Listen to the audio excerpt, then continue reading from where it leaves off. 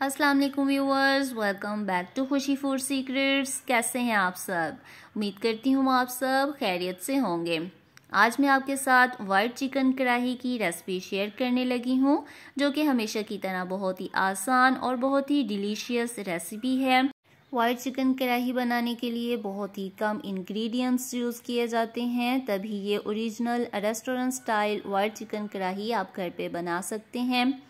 जैसे कि आप देख सकते हैं कि बहुत ही कम इंग्रेडिएंट्स यूज़ किए गए हैं। तो चलिए स्टार्ट करते हैं।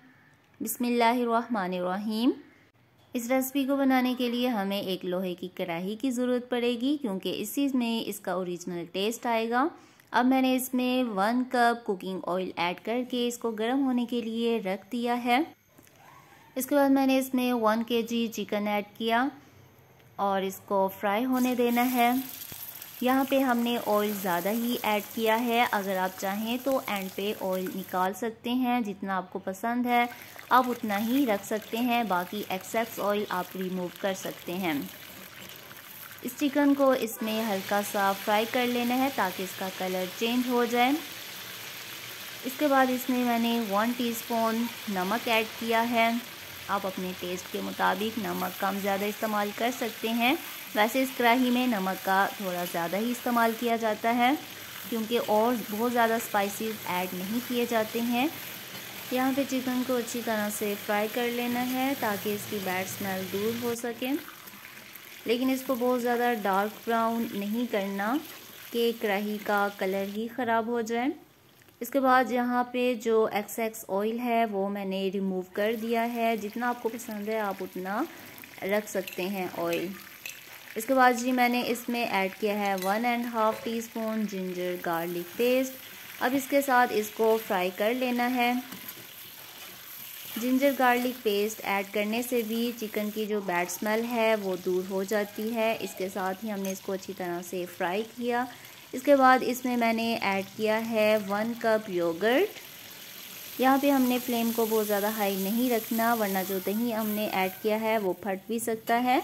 जब भी दही ऐड करें तो कोशिश करें कि फ्लेम मीडियम टू लो ही हो। अब हमने इस चिकन को इसके साथ हल्का सा कुक करते जाना है और इसके बाद मैंने जी 10 मिनट के लिए लिड लगा के इसको दम फ्लेम पे छोड़ दिया है ताकि चिकन भी अपना पानी रिलीज़ करे। और जो दही का पानी है, इसमें ये चिकन अच्छी तरह से गल जाए और सॉफ्ट बने। इसके बाद मैंने इसमें स्पाइसेस ऐड किए हैं, जिसमें कि है ज़ीरा powder one teaspoon coriander powder one teaspoon इसके साथ ही मैंने यहाँ पे ऐड की है half teaspoon white pepper इन स्पाइसेस के साथ चिकन को अच्छी तरह से फ्राई करना है। ताकि ये मसाले इसके अंदर रच बस जाएँ।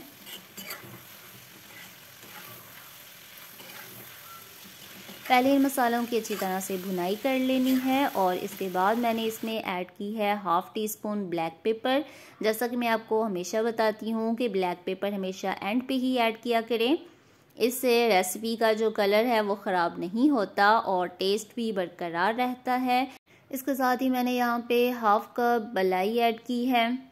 आप मिल्क पैक क्रीम भी यूज़ कर सकते हैं और घर में जो हम सेव कर लेते हैं बलाई वो भी इस्तेमाल कर सकते हैं। इसके साथ ही मैंने यहाँ पे ऐड किया है वन टीस्पून कोकोनट पाउडर इसको स्किप नहीं करना। इसी की वजह से रेस्टोरेंट स्टाइल ओरिजिनल वाइट कढ़ाई का टेस्ट आएगा। इसको लाजमी ऐड करना है और अब इन दोनों को भी अच्छी तरह से भून लेना है ताकि इनका कच्चापन दूर हो सके। इस पॉइंट पे आके अगर आपको ऑयल ज़्यादा पसंद है तो आप ऑयल ऐड कर सकते हैं।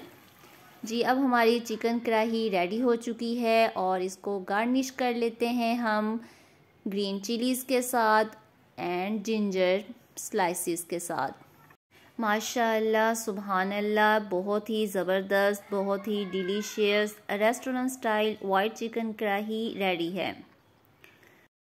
आप इस रेसिपी को ज़रूर ट्राई कीजिएगा और मुझे फ़ीडबैक भी ज़रूर दीजिएगा। अगर आपको ये रेसिपी पसंद आई है तो लाइक एंड शेयर भी कीजिएगा। और जो मेरे चैनल पे न्यू है, जो फ़र्स्ट टाइम में मेरी वीडियोस वॉच कर रहे हैं, उनसे रिक्वेस्ट है कि प्लीज़ मेरे चैनल को सब्सक्राइब किए बगैर मत जाइएगा। ओके अल्लाह हाफिज़।